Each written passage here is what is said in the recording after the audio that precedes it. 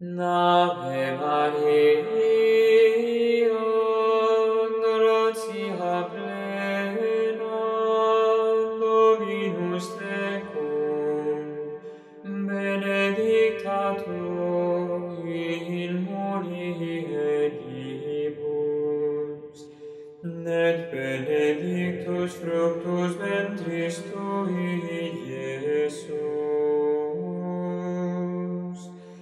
Santa Maria, Mater Dei, nora pro nobis peccatoribus, nunc et in hora mortis nostre,